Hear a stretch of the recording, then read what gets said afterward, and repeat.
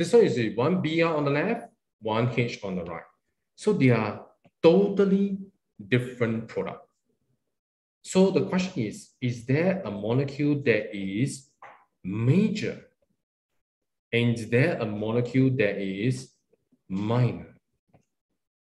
Yes, there is. And this is what we're going to discuss right now.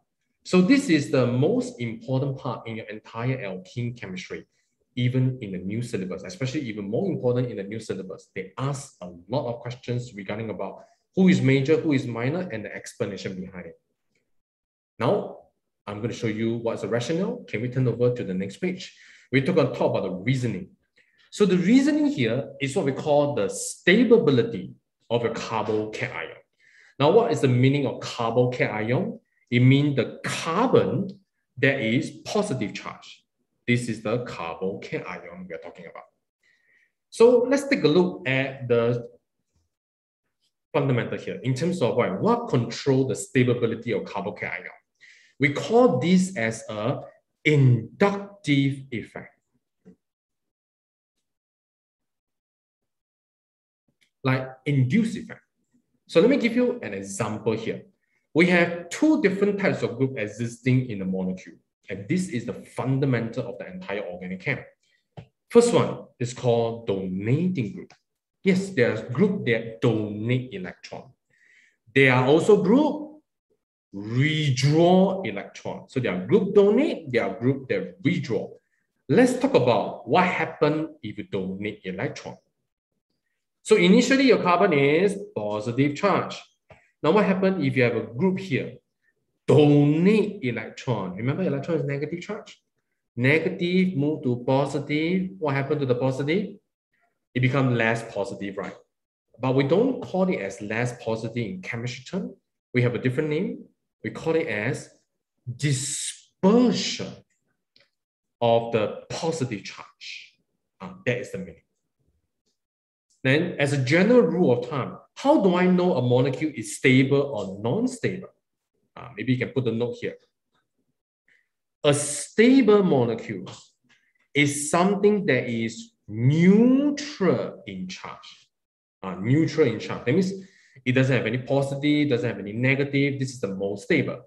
So if you come back to this molecule again, this is a positive charge. I keep on donating electron to the positive. This positive will slowly disappear. We call it as dispersion. So you approach more and more neutral.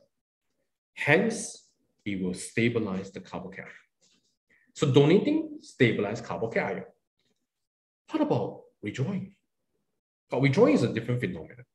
I pull electrons away from the carbon. Wow, this carbon here will become more positive. Remember, your carbon got electron, you pull more electron away, this positive become even bigger or more positive. But we don't say even bigger positive or more positive. We call it as intensify the positive charge, right? That's of the key word you use. Intensify the positive charge, and therefore you are more positive, you are less neutral. So therefore, you destabilize the carbocation. So as a general rule of thumb, the more donating you have, or you have a donating group, is going to help to stabilize the carbocation. Withdrawing? No, not, not so much. So we take a look right below. So we have different group here. I hope you start to recognize what is this. This is methyl cation because this is a cation with no R group. This is one R group, two R group, three R group. Let's focus on the primary, secondary, and tertiary. As a general rule of thumb, who is considered to be electron donating group? Electron donating group in general are hydrocarbon. So whenever you see hydrocarbon appearing, this is by default donating.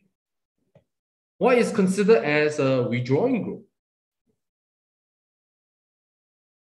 By default, is a halogen. The halogen can be Cl, can be Br, can be I, so on and so forth. Okay? This is electron withdrawal. So right now we have primary, secondary, and tertiary. So you can see that this is a R group. R group in general is CXHY. Oh, I donate one. This R group donate twice. This the R group donate three times. Remember when they donate, they donate electrons on. So if you donate so much electron for the tertiary, what will happen to the positive? I think it almost disappear. Nothing left. So this is the most neutral. Relatively to the one with the primary, donate ones, mm, neutralize a little bit, but still got some left. So relatively, this is less stable. And this one will be the most stable because I don't need so much electron. I make the positive charge disappear already or disperse the positive charge. Hence, it's the most stable. Now, here's the thing. Alkyl is donating. Like I mentioned before, CXHY is normally the alkyl group. The greater the number of alkyl group, the more stable the carbocation ion. That is the reason why we say tertiary is the most stable, followed by secondary, then primary, followed by methyl cation. There's no positive charge. There's no R group at all. So this is what we call the inductive effect. This is the fundamental of your entire organic chemistry. Is everybody following? Okay, for the online student, are you clear with this one? Inductive effect, donating, rejoin. Donating is more stable, uh, which one is less stable. If you got it, you can type the group chat as yes. If you're not sure, let me know which part.